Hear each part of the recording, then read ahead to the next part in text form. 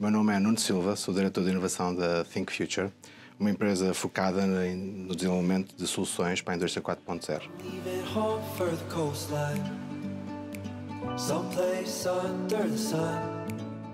A Think Future um, desenvolve soluções de alta performance. Podemos, por exemplo, falar em uh, experiências uh, de interação uh, com tecnologias imersivas, como, por exemplo, a realidade aumentada ou a realidade virtual, como também utilizando os conceitos tecnológicos como o remote sensing. Podemos ter, por exemplo, serviços de inspeções de verticais de torres de telecomunicações, em que, em vez de termos um homem a subir a uma torre com um arnês, podemos ter, por exemplo, um drone que faz uma inspeção vertical, portanto, é essa mesma torre. Uh, temos, por exemplo, a agricultura de precisão, temos um drone que possibilita, uh, através da câmara, inferir determinado tipo de análise num terreno, por exemplo, agrícola e outros serviços que podemos fazer, por exemplo, com este tipo de uh, aeronaves.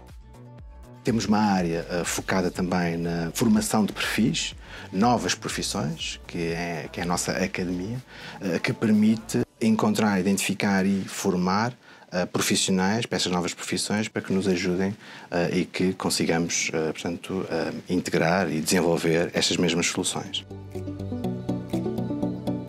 Estamos a falar de áreas como, portanto, BIM, Building Information Modeling, estamos a falar, por exemplo, de áreas como impressão 3D, estamos a falar de áreas como a realidade aumentada, a realidade virtual, eh, o Internet of Things, a segurança de dados, inteligência artificial, nanotecnologia, biotecnologia.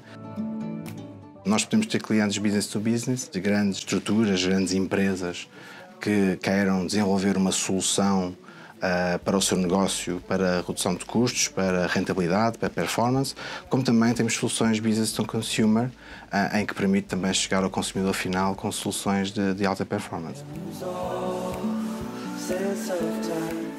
Quando desenvolvemos um serviço ou uma solução para o mercado, pensamos sempre na necessidade. E a necessidade é fomentada ou por um público específico, eh, por uma empresa específica, ou por um determinado tipo de nicho de mercado. Nós temos no mercado muito para a solução uh, de um problema identificado uh, e que as novas tecnologias, nomeadamente a indústria 4.0, vêm solucionar.